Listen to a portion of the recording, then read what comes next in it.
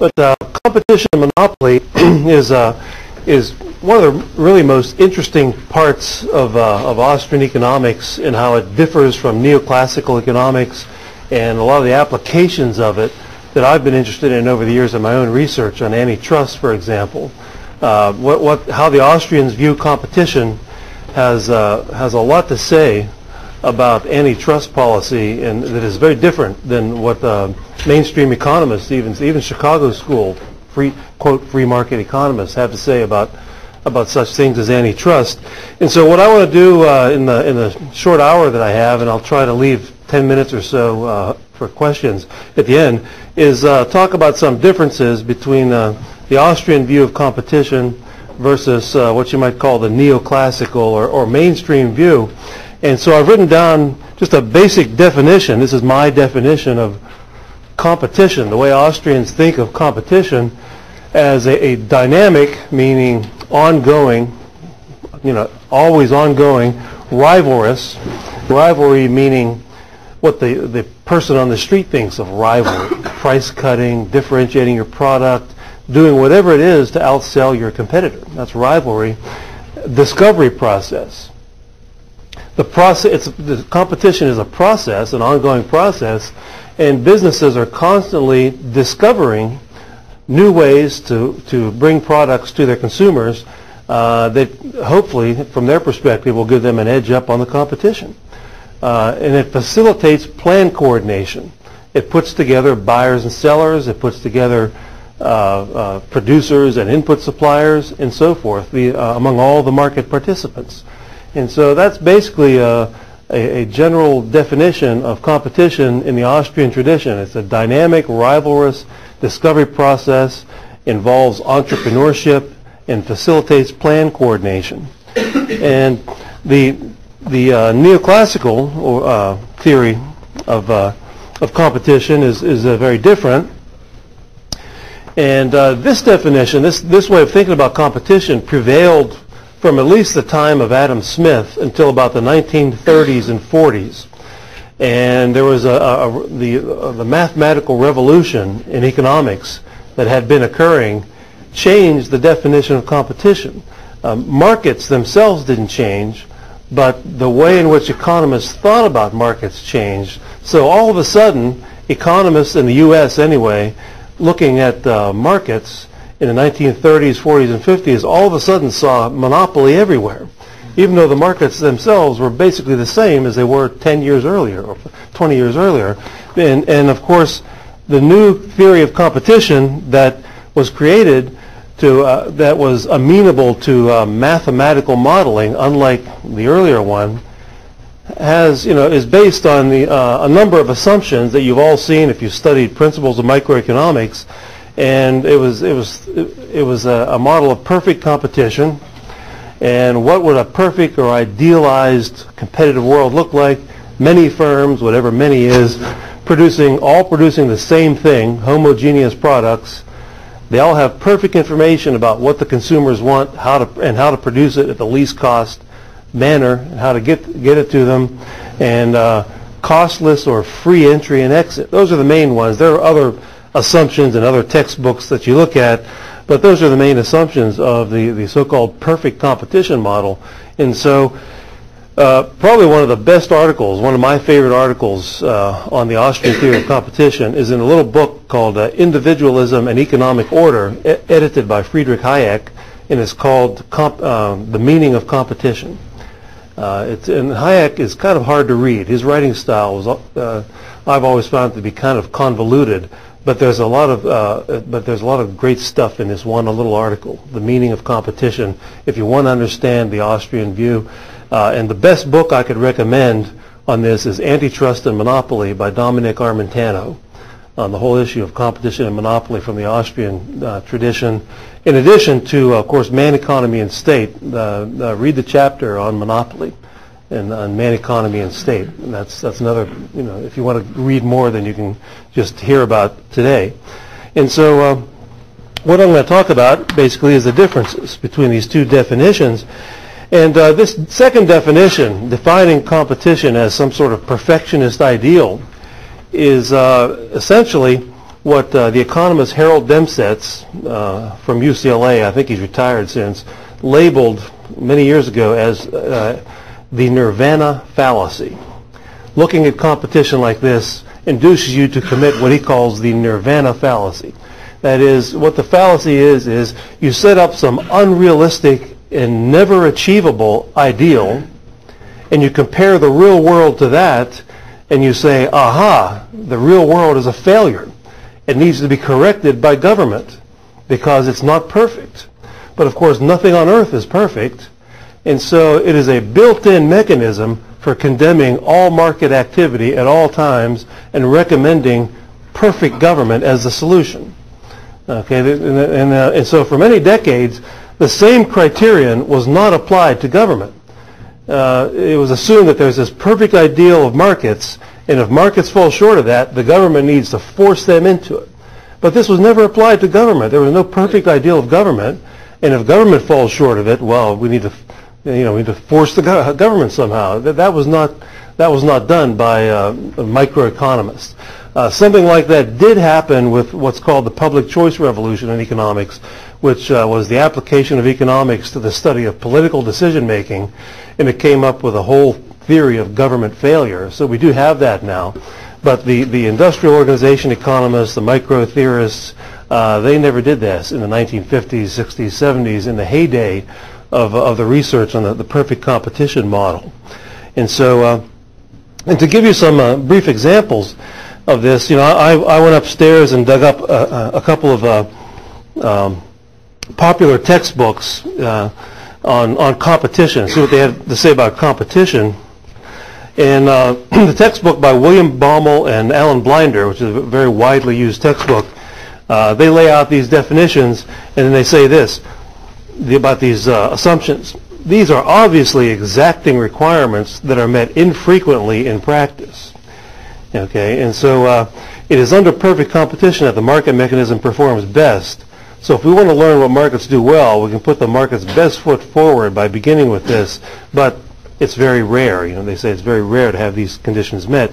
Another book that's very popular by uh, Case and Fair, Carl Case and Ray Fair, they list these assumptions and they say, but these assumptions do not always hold in the real world markets.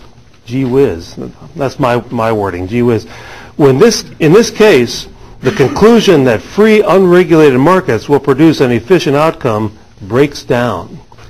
And so unless you have everybody producing exactly the same thing, charging exactly the same price, and, and just a, um, a multitude of firms and costless entry and exit, markets are not efficient. They break down. They need regulation of some kind. And uh, you know, for many decades, the, uh, the uh, Americans, as well as most others in the world who studied economics, studied it with uh, this textbook by Paul Samuelson, or some clone of Paul Samuelson, like the one by uh, Campbell. Uh, uh, yeah, Campbell, McConnell, Campbell McConnell. Uh, and so this is the 1976 edition. This first came out in 1948. And from 48 until about the 1980s, this was the number one seller of uh, principles of economics books. And uh, it's kind of funny for me to look at it now, but there's a, there's a table here uh, in the book. It's a, on types of competition. It lists perfect competition, monopoly, and other things. And, uh, and, it, and it has a, a column that says part of the economy where it's prevalent, competition. And all he has under uh, competition is a few agricultural industries. That's it. Everything else is monopolistic. And of course, if it's monopolistic, that means the government needs to, in Samuelson's view anyway, needs to step in and do something about that, make it make it more more uh, uh, competitive.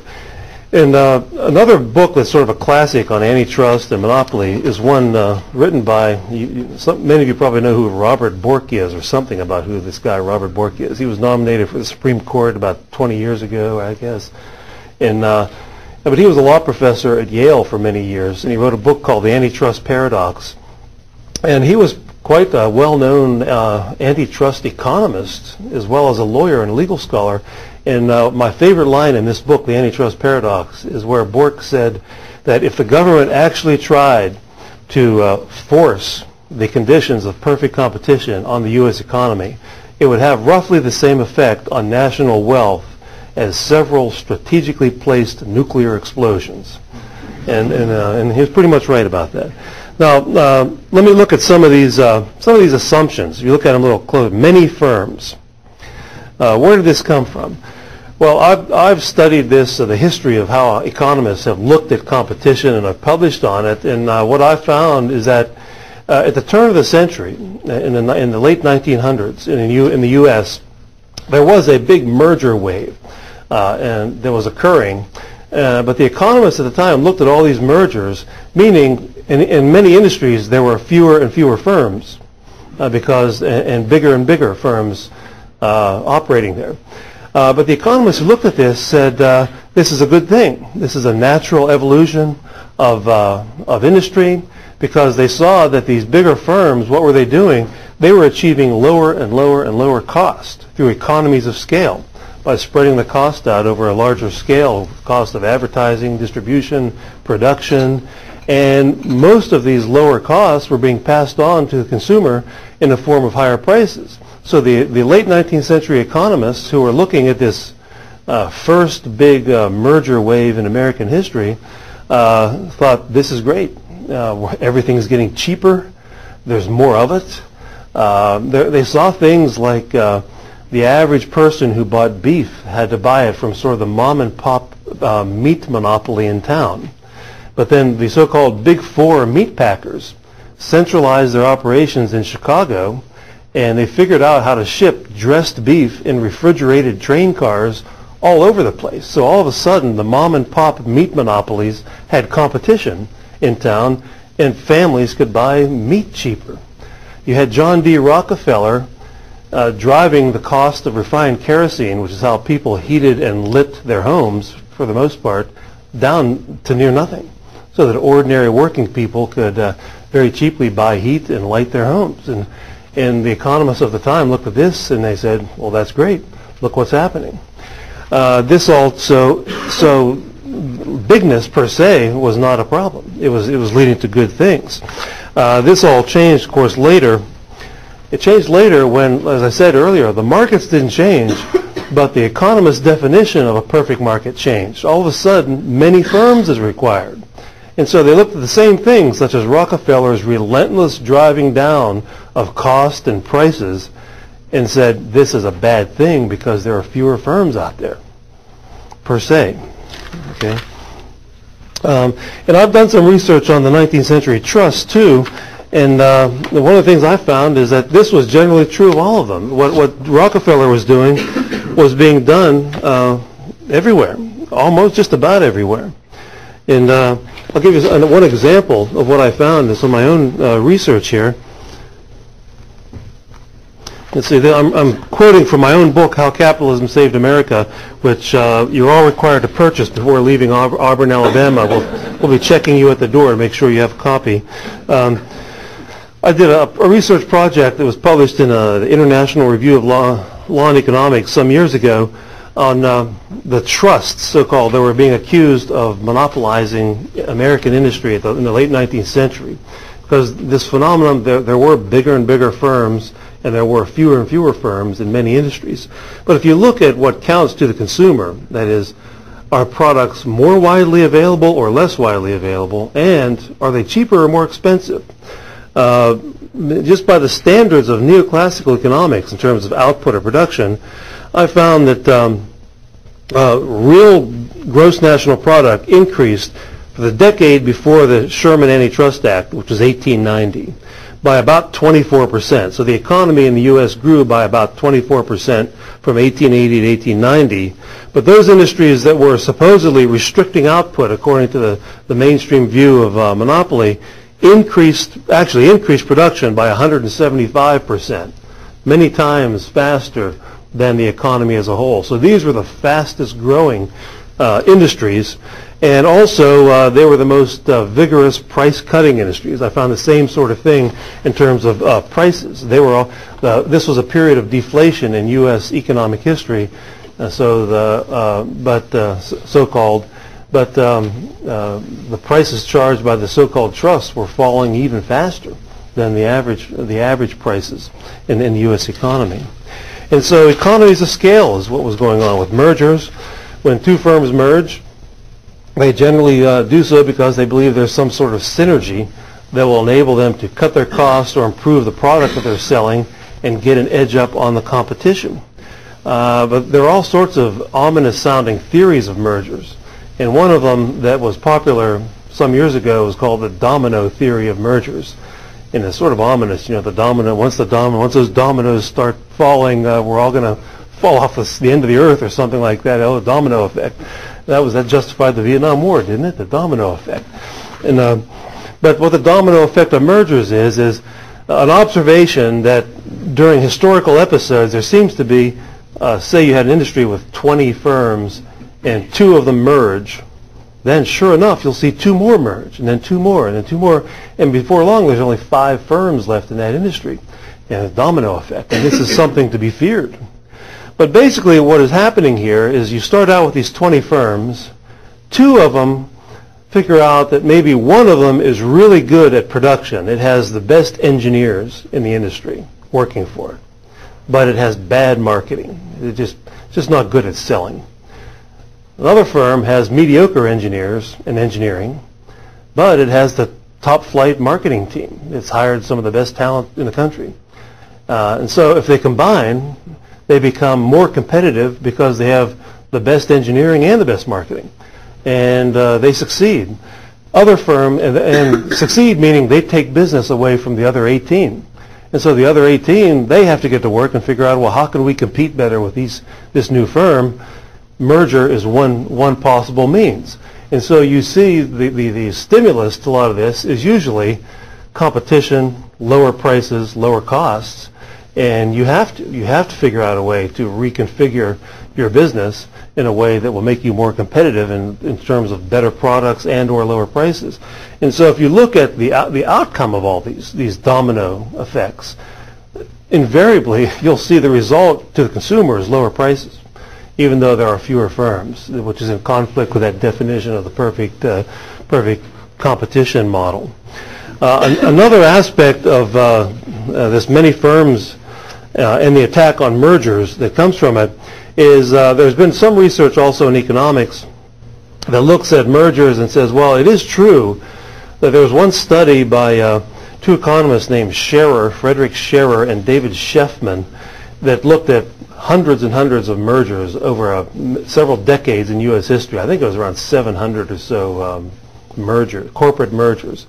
And they found that more than half of them were spun off uh, within 10 years or so. That is, they sold, they sold the part of the business that they had previously acquired. So in other words, the merger didn't work out. It didn't make them more competitive. And so from that, they conclude that uh, we need more government regulation of mergers to stop these mergers that don't work out. And of course, that assumes that government regulators have some sort of omniscience and they can see 10 years down the road of what may or may not work, even when they have no, none of their own personal money at stake which I always found to be absolutely preposterous. But these are some very smart guys, uh, uh, uh, PhD economists with long publication records. Scherer, he's, he's probably near, nearing retirement if he's not retired now, but he taught at Harvard for many years, and his textbook was the textbook in industrial organization for several decades. But the Austrian view of this phenomenon would be that uh, you might remember that definition where I, one of the words I had in there was discovery process that there is no recipe for the optimal organization of a business or an industry. This is something that is discovered by trial and error by business people. And mergers is one way of discovering what works best. And if it doesn't work, well then we learn it didn't work. And so and we learn what works by looking observing what doesn't work. And so the only way to know what the optimal configuration of an industry is, the optimal size uh, of a business uh, within an industry, is to try it, trial and error, uh, because there's no central planner or economic expert or government official who could possibly have this knowledge. The market process reveals this knowledge to us. That's how we get this knowledge. But you remember in that perfect competition model, this knowledge is assumed to exist. It's perfect information. So the very knowledge that markets produce is assumed to exist in the minds of some expert by the perfect competition model, which uh, is simply absurd.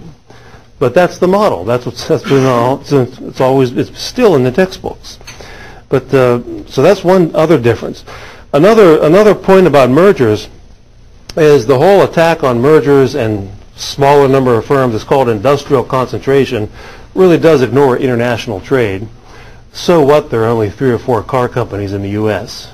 that sell a lot of cars. There's a lot of competition from abroad. So keep that in mind that that international not only international competition but potential competition is ignored. When you when you talk in terms of monopoly in terms merely in terms of uh, market concentration that is how many how many firms there are selling you know what percentage of the sales if anybody really is making a lot of money uh, yeah, uh, and uh, it's going to attract competition from all over the world. Uh, and so uh, and that always has to be taken into consideration Okay.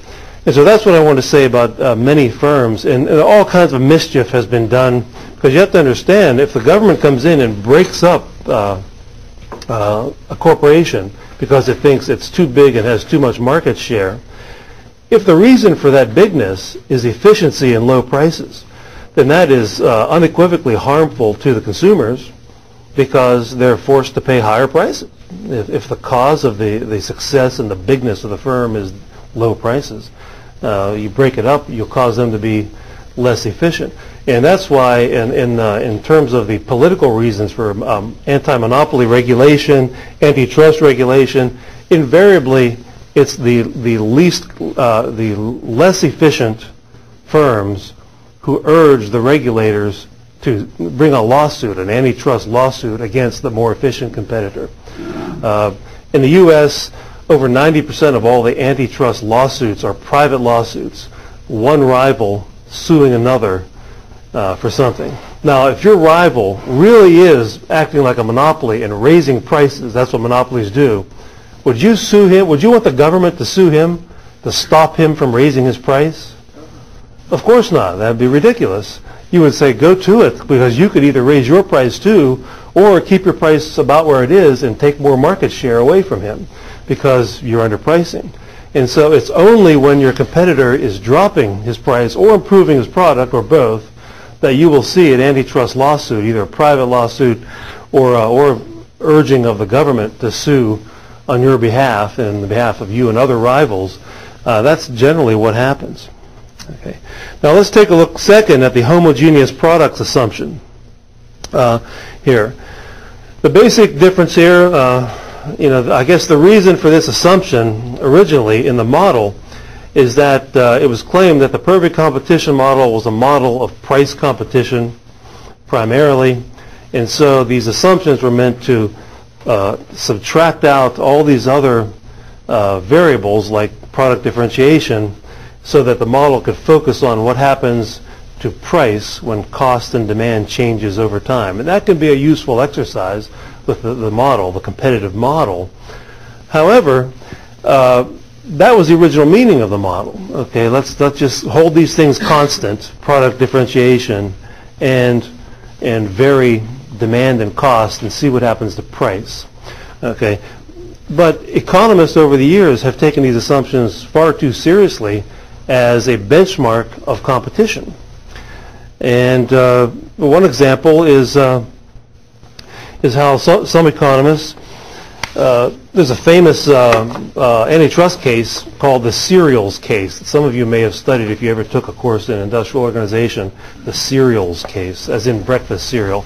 This was in the late 1970s in the U.S., and there were three companies, uh, General Mills, Kellogg's, and General Foods, that began experimenting with all sorts of different brands of cereal uh, and this was about, at the time in the U.S., this was about the time when people started becoming more health conscious. So they started uh, make, uh, offering all kinds of brands of granola and things like that. And Count Chocula, which is probably the most healthy cereal you can get, I think, uh, that, that sort of thing. And, uh, and some of these brands failed. I can remember going to the grocery store where there'd be uh, shelves and shelves and shelves of cereal you never heard of that people didn't like you could buy for uh, 50 cents a box or something like that that just didn't work out.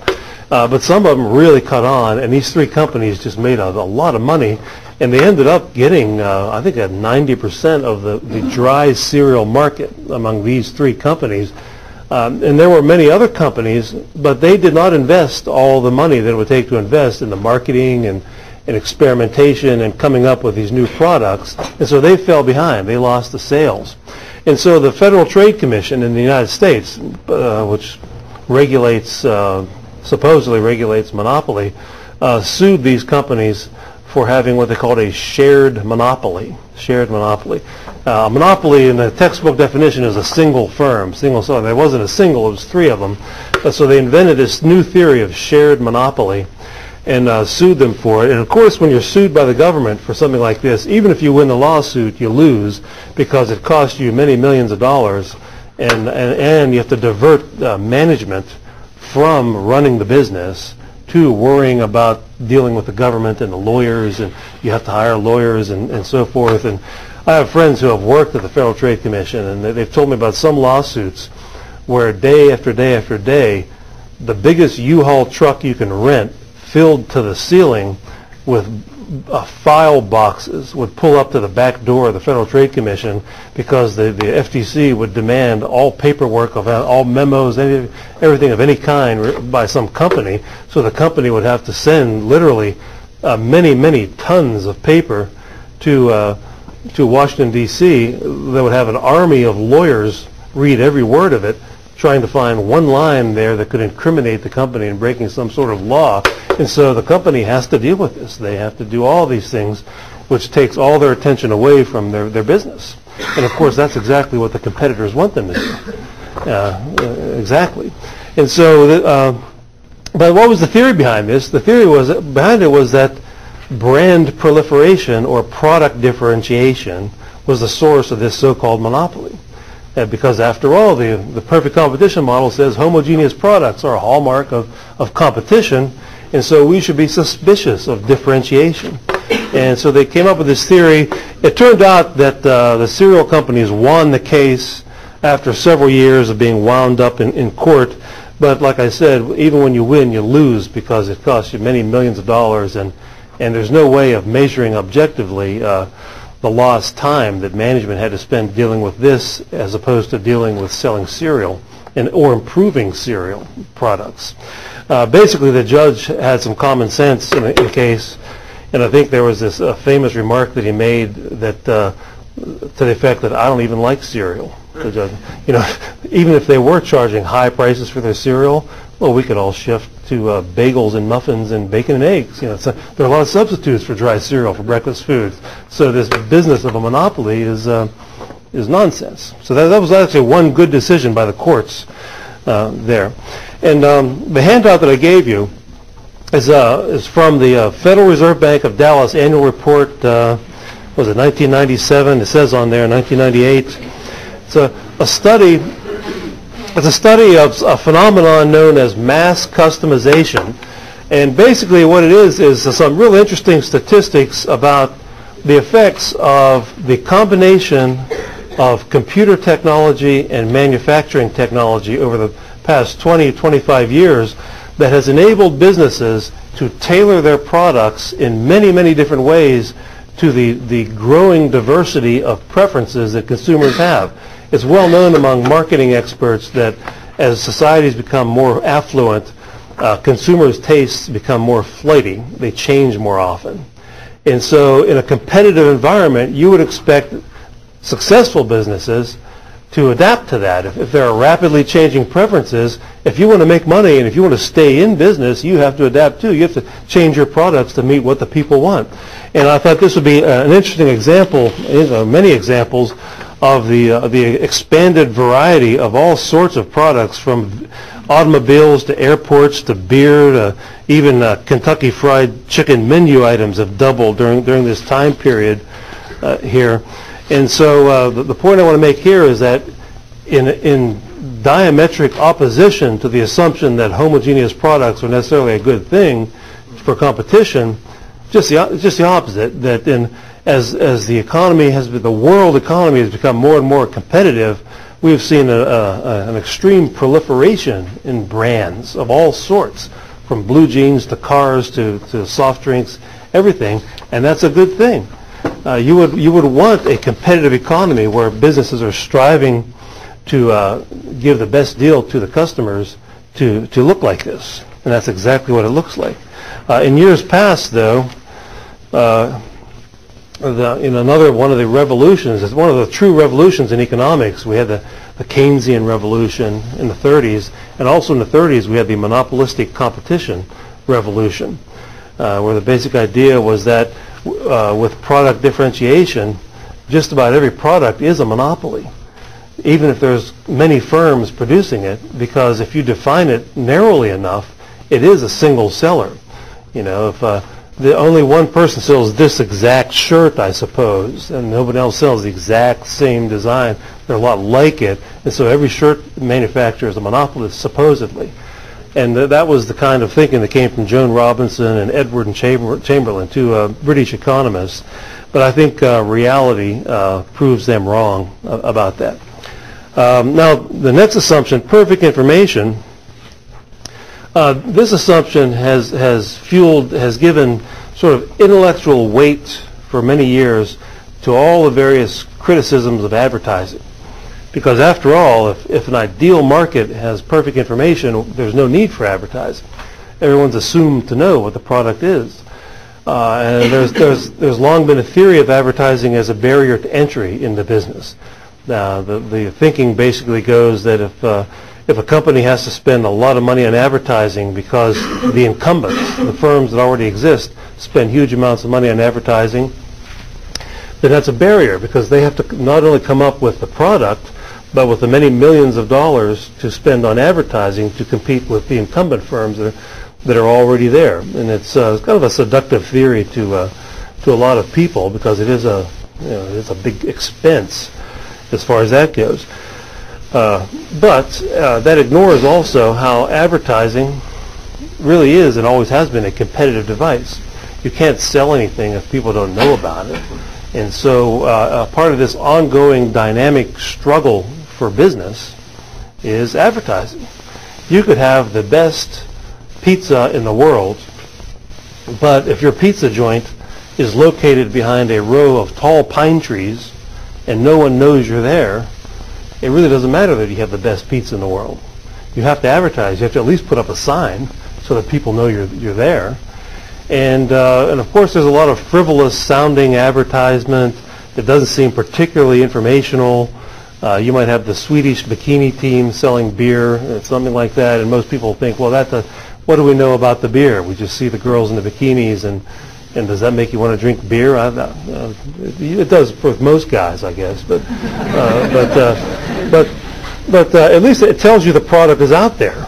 You know, it tells you it, it, that's that's the information you get. The product is out there, and uh, also it's it might be persuasive because people sort of kind of like it if it's a cute or funny advertisement that. Uh, when they like that, the one with the duck, the Aflac duck that you've seen on television, it's kind of stupid, isn't it? The Yogi Berra talking to a duck on a. If those of you have seen this on American television, uh, but you know, who knew that there was an insurance company called Aflac uh, two years ago? Nobody knew about that. And so uh, even though it seems silly, it, it, tells you we're in town. Try us out. Look, go on our website, see what our rates are. And of course, that is a good thing for competition. Imagine uh, if, if there was a total ironclad ban on um, advertising for automobile tires, let's say. What would you have to do to buy new tires for your car? Most of us would shop around for something like that because the tires cost a lot of money for, for cars. But if there was an ironclad ban on radio, television, newspaper, advertising, what would you have to do if you wanted to shop around and you just didn't want to get ripped off by uh, well, you'd have to drive around. You'd have to go to one place and a second place that sold tires. And, uh, and more likely, the average person would only maybe make two stops uh, as far as that goes. And the businesses would know this. They would know it's tougher for you to shop around if, if there was an ironclad ban on their advertising. And they would charge higher prices as a result. And, uh, and so, uh, and there's been a lot of research on this actually, on uh, legislative bans on advertising. That's why lawyers and doctors for many years uh, had succeeded in getting bans on advertising. It's unsavory to, uh, to, to advertise uh, for your legal services, they said, unprofessional. and uh, they would even uh, drop people off the rolls of the um, local bar associations if they took out ads advertising, you know, divorce, two, buy one, get the second one 50% off or something, uh, whatever lawyer, however lawyers advertise.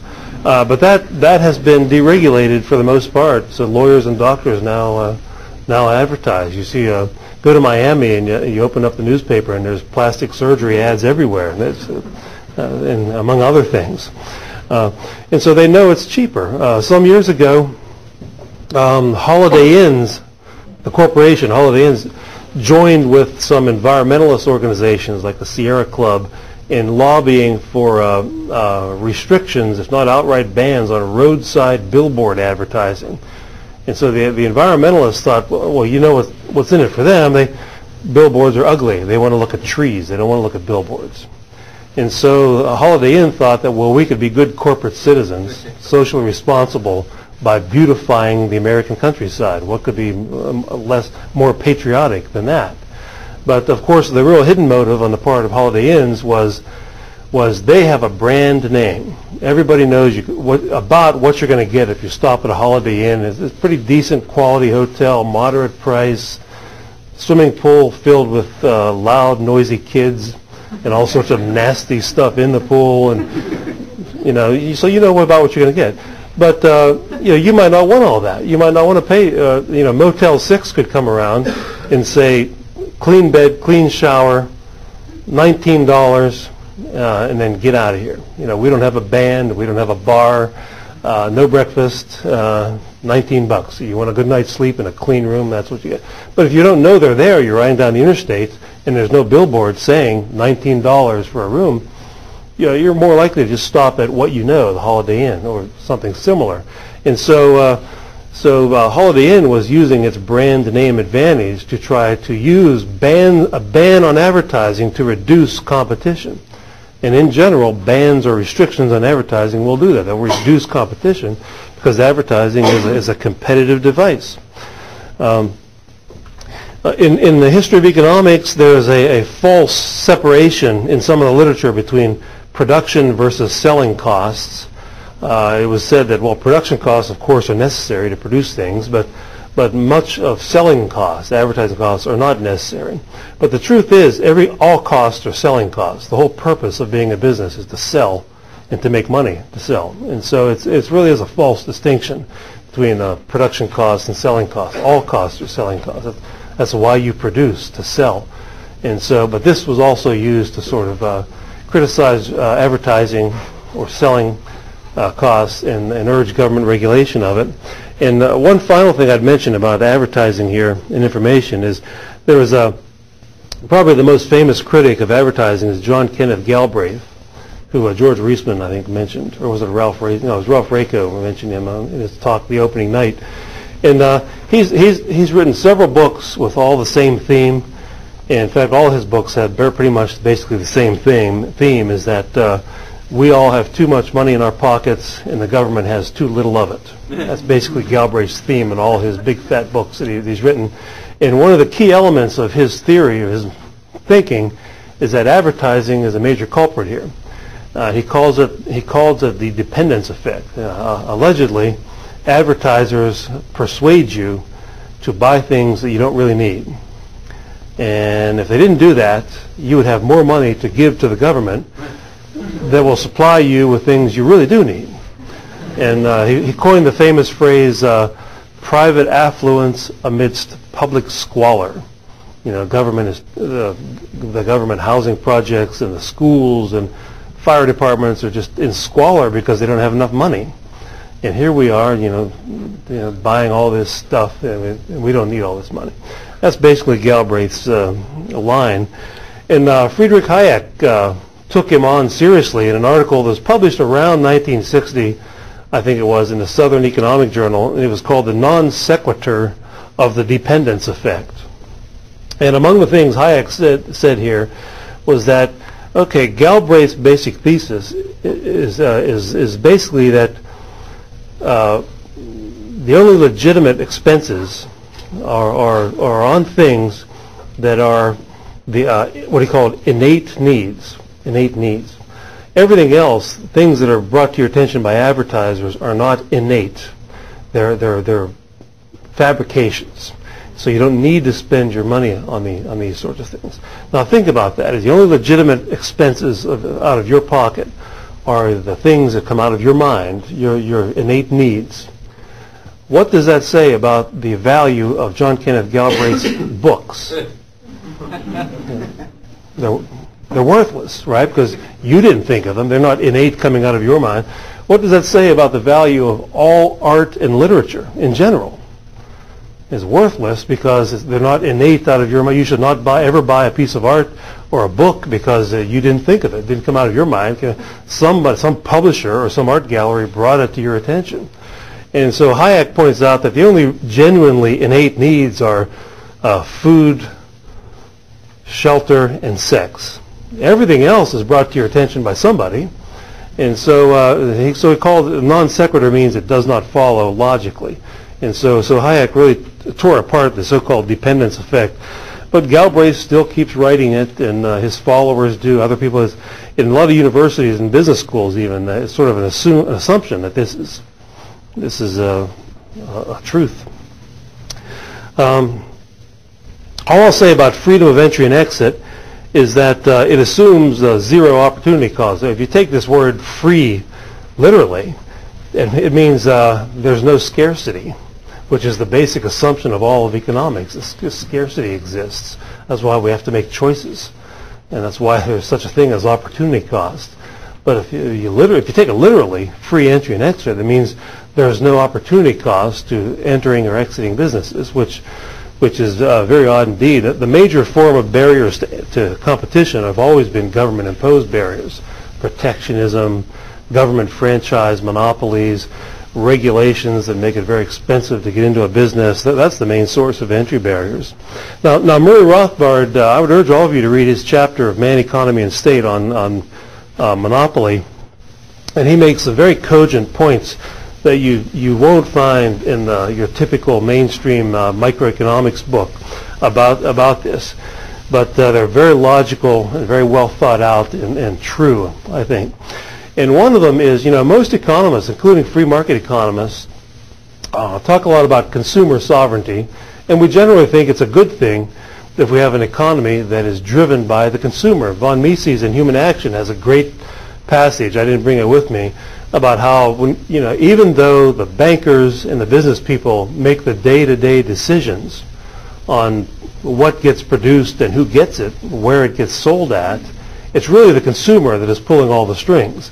Because if the consumers won't buy this stuff, it doesn't matter what the bankers do or what the business people do. You could have all the bankers in the world deciding at one time that the lead tennis ball industry is where to put our money but if the consumers don't want to play, play tennis with lead tennis balls, it doesn't matter that they're making the day-to-day decisions. They're bad decisions. So, uh, so it is true, consumer sovereignty is a real thing, an important part of the economy. But Murray Rothbard said that we should think more in terms of self-sovereignty and not consumer sovereignty. It's an important aspect of our economy that it really is driven by the consumers, not the capitalists and the bankers and the financiers, but the consumers but self-sovereignty. Now, why did he say this? Uh, he said this because there's a bias in economics in favor of consumers and against producers for no good reason. Um, for example, uh, if, if, producers uh, are said to restrict output, that is, produce a level of output that's less than some ideal, the perfectly competitive ideal, uh, that is said to supposedly harm the consumer. Okay, but um, you know, Murray brought up the question. Well, I guess he would say, well, so what? Uh, what? Why is it necessarily immoral for someone to voluntarily say, I only want to sell 100 television sets in my store. I don't want to have 500 television sets for sale in my store. Why is that immoral? Uh, and, and do uh, worthy of condemnation and government crackdowns on that. If someone wants to voluntarily do that, the consumer is perfectly free to do business with me or not. He can go somewhere else. But if I restrict my output by selling fewer rather than more things, uh, why am I not sovereign? And, and, and why do I not have that, that right to make that decision?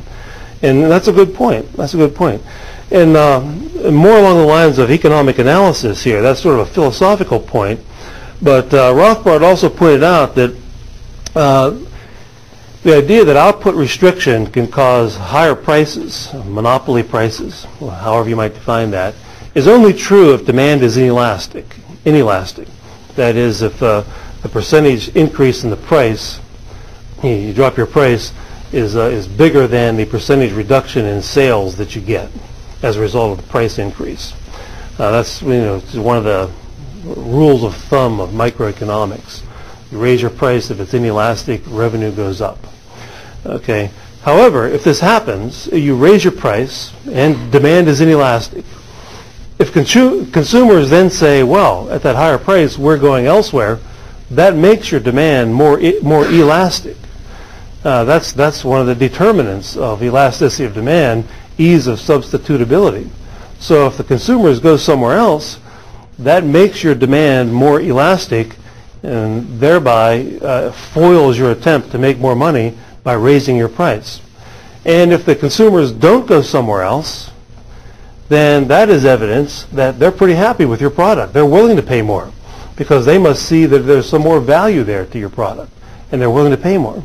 So, so either way, it's not, uh, it's not uh, an ominous cartel. That you, the same analysis goes for cartels, by the way. If a group of people uh, band together and decide to somehow organize a higher price, it can only work with inelastic demand. And if the consumers go elsewhere, the demand becomes elastic, breaks up the whole cartel. Uh, it, it can't work. And so, uh, in fact, the whole history of attempts at cartel formation has been a history of businesses trying to form cartels. Doesn't work. It might work for a short amount of time, uh, and then they turn to government to enforce the cartel. And so you can't really have a real cartel without the, the coercive powers of government to keep it going. Some good examples of this are uh, the Civil Aeronautics Board, which regulated the American airline industry beginning in the 1920s. There were more airline companies in the 1930s in the U.S. than there were in the 1970s. That's all changed since then with deregulation. But one of the things the, uh, they did, the Civil Aeronautics Board did, was to enforce a cartel among the airline companies. They even set the prices. That's a pretty good deal.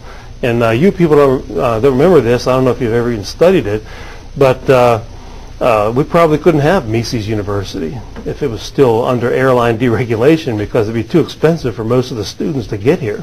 The only real travelers were business people, mostly businessmen.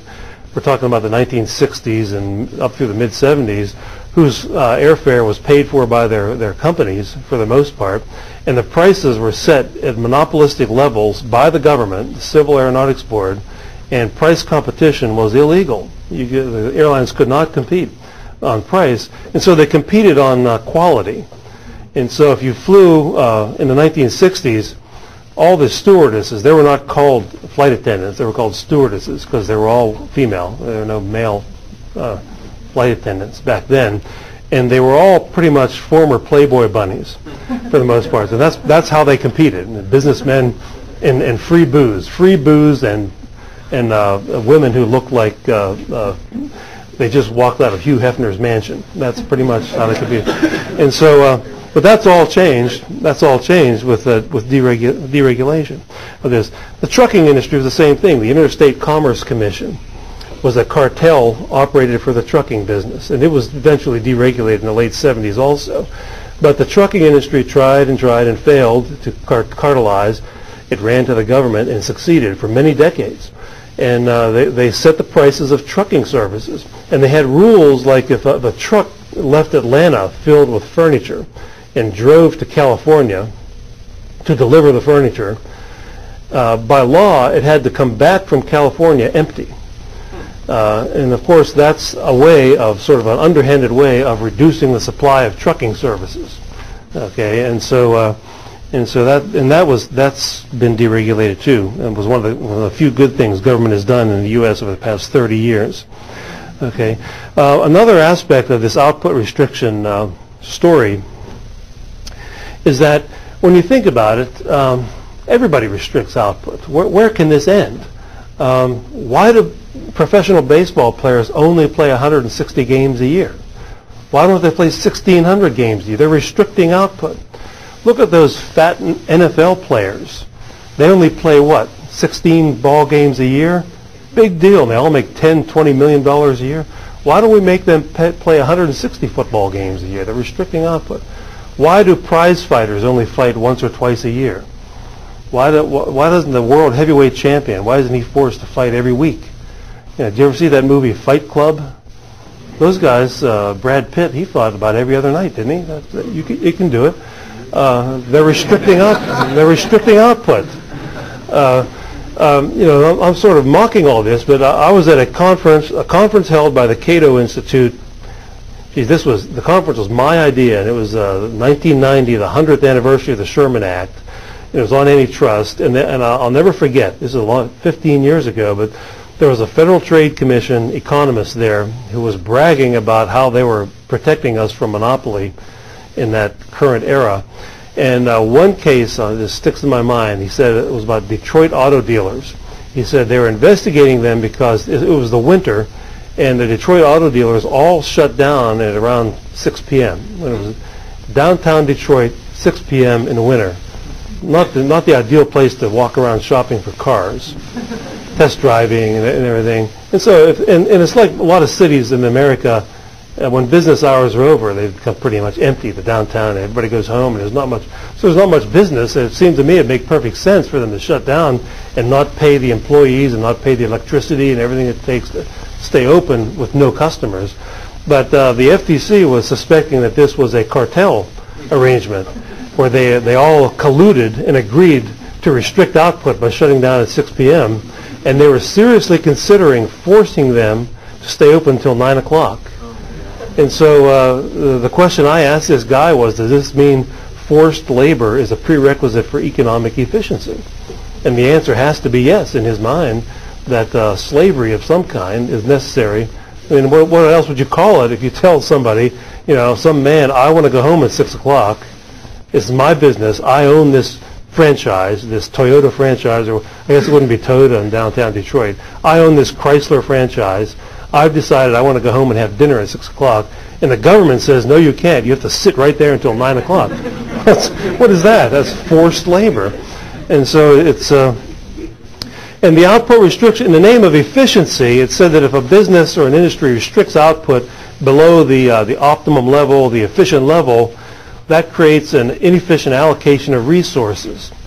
However, as Rothbard pointed out, if you take a more general view of this, if, if businesses did reduce uh, the level of production, the resources that they do not use, labor, capital, and so forth, will be used somewhere else. They'll be bid away. There's the people who are not employed are not going to commit suicide. They'll look for other jobs. And they'll be put in, in other industries altogether, most likely. And so there's going to be an, an expansion of output somewhere else. So if any one business or industry reduces output, well, yes, it reduces output there, and you can talk about inefficiencies that might be caused by that, or a reduction in consumer welfare, let's say, but there's an increase in consumer welfare and output somewhere else.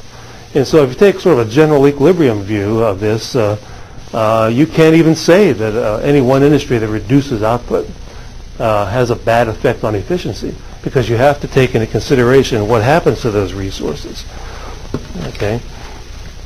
And a few other things. Uh, I think I'll, I'll, conclude by saying that um, historically monopoly has always been viewed, was always viewed as the source of monopoly as a grant by the state.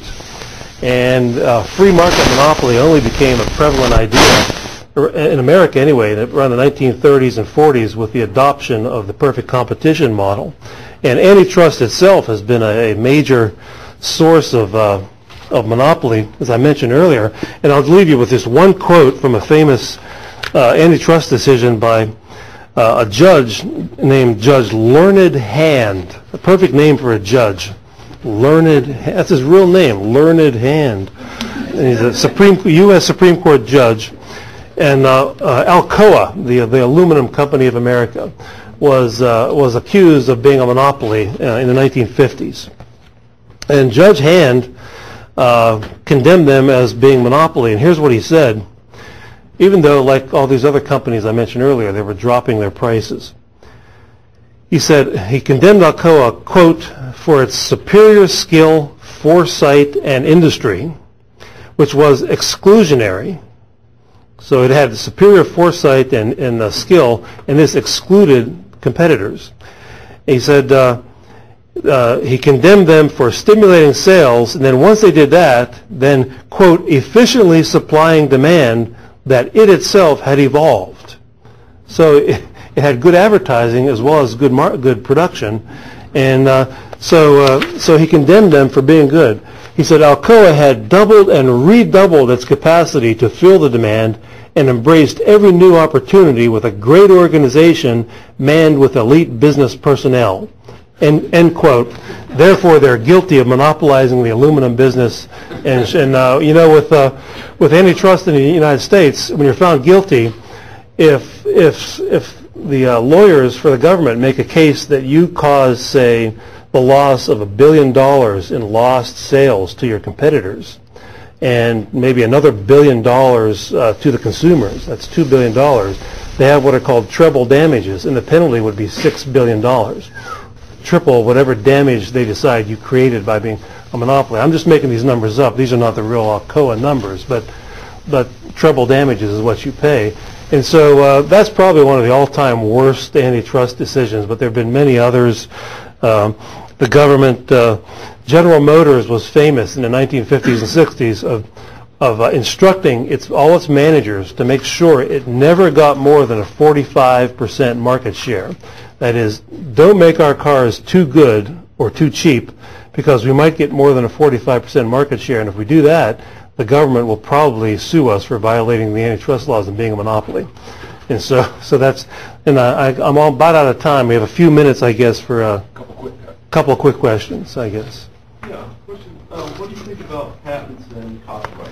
Everybody always asks that. Uh, they're, uh, well, they're government-created monopolies. And I would recommend you read uh, the Journal of Libertarian Studies article by Stephan Kinsella on, uh, on uh, he's a patent lawyer and is uh, also uh, the book review editor of the Journal of Libertarian Studies. And uh, Murray Rothbard addresses it in Man, Economy, and State too. But they are government-created monopolies, each of them.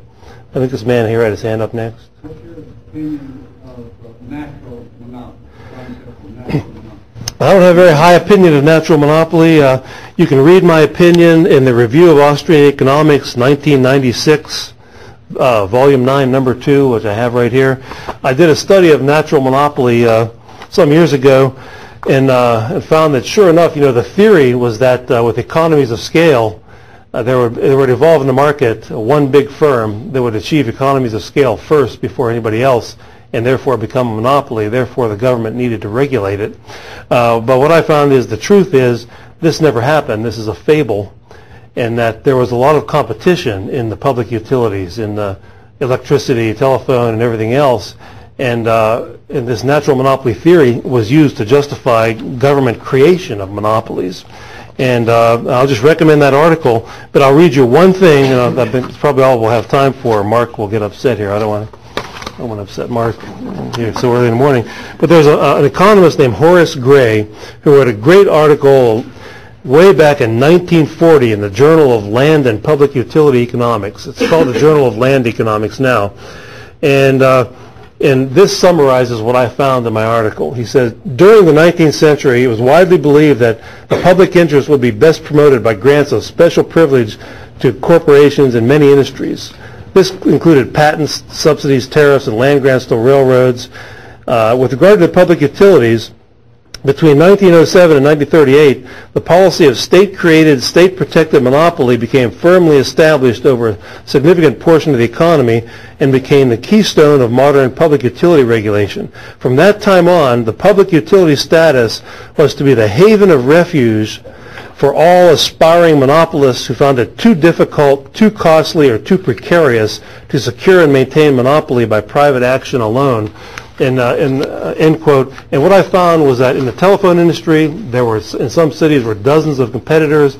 Electric utilities in the United States. There have always been cities with multiple competitors. Cable TV, the same way. All these industries that were supposedly monopolies had vigorous competition, and there wasn't a natural monopoly coming about. A monopoly was created by government fiat. The AT&T monopoly was created by the federal government after World War I. The, the U.S. government uh, nationalized all the telephone services during World War I. Then after the war, they let the states uh, have telephone monopolies, and through lobbying and politicking, uh, AT&T persuaded the federal government to give it the the telephone the telephone monopoly. But before World War One, there was vigorous competition in the tele, telephone industry, and then we ended up with uh, what. Uh, 80 years of government franchise monopoly in telephone services as a result, and there was nothing natural about it. It was government imposed. I guess we're out of time.